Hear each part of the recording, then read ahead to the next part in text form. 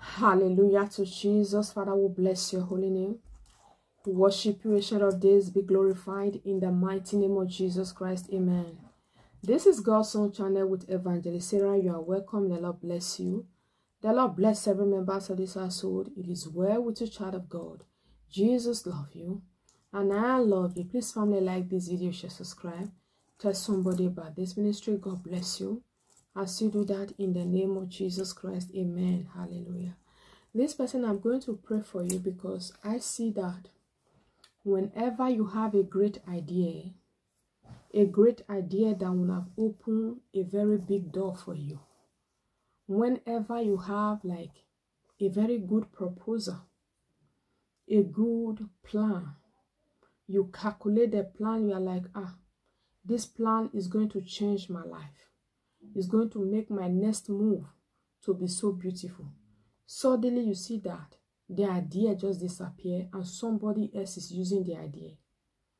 You know, you just started losing interest and you see somebody else not taking the idea and is not using the idea.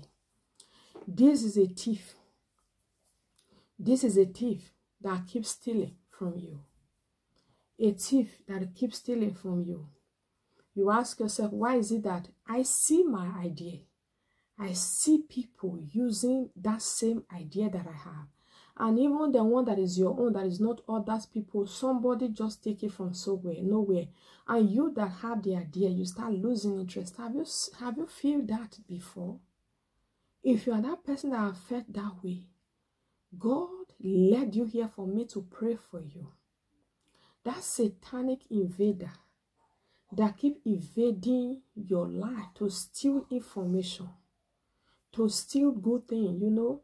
Sometimes idea in life can shoot somebody to a next level, can just shoot you up, like go up, up, up to the next level. And you know you put the idea in place. You're like, oh, this is what I want to do, this is what I want to do. I saw a young woman who a young woman who said from from any i think from any hundred dollar i don't know hundred dollars is hundred dollar or hundred thousand uh, two hundred thousand uh, dollars now. And how did this how did this happen? She said she always had this idea of having a family youtube channel a family media not not just youtube maybe instagram whatever it is that she had the interest. But because of the situation she was in she never has the privilege to carry out that idea. And she also, whenever she say to people, she see people taking the idea, using it, and they are using it to decorate their family. Their family is becoming okay. They are buying houses, cars, and all of that. The children are living well. He, she's looking at them like, this is my idea. A day came and she had to tell herself, no, I will not allow anyone to steal my idea. Let me also do it even if somebody steal their idea and do it, it's okay if the person does not steal it with evil intention.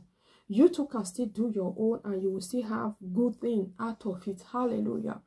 Because the Bible said the works of our hands is what it will bless. We are not going to lie down on our bed and money will start falling from the ceiling. It's not going to be possible. It's falling from the roof. So it is what we do that God will not bless. So your idea can be a big blessing your idea can be a big blessing that will make you and your family to expand. You understand me? So I will pray for you, child of God. Anything that stands as a big thief that is stealing your idea, after they have stolen your idea, they will wipe it away from your heart not to be able to pursue their dream. I pray any power that is stealing the idea of your greatness, by the power in the name of Yeshua, let them restore your idea and let them scatter in the name of Jesus. Let those powers scatter in the name of Jesus. Your idea will not be stealing anymore. It will not be stolen anymore. Go and be successful through that idea. Go and excel through, uh, uh, do through that idea in the name of Jesus Christ. Amen. It is well with you. Jesus love you. And I love you with the love of Christ. I remain your sister, Evangelist Sarah. By the grace of God, I will see you again. Bye bye.